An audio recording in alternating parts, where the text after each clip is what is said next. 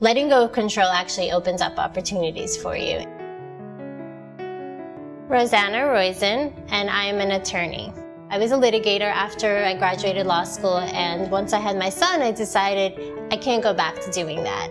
And when I started to think about what it means for me to be a professional and to be the mother that I wanted to be, it really became a political choice for me to start my own law practice and to become an entrepreneur.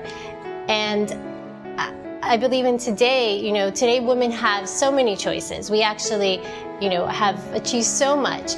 And that making a choice to say, that I want to be in control of my day, that I want to be able to decide when I want to see my son, if he's sick and I want to be able to work from home today. For me, that felt crucial.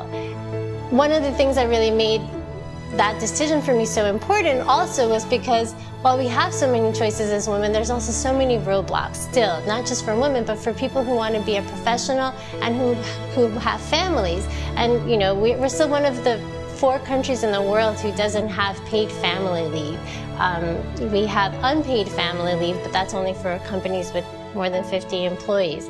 We don't have universal preschool. We don't have affordable childcare. All of those things really made me feel that I just needed to be in charge of my day so that I can be able to be flexible and be involved with my son and not feel that I don't see him for 70 hours a week, but it's still at the same time have a career that um, allows for me to be able to grow intellectually and professionally. My advice is think about what, what your values are.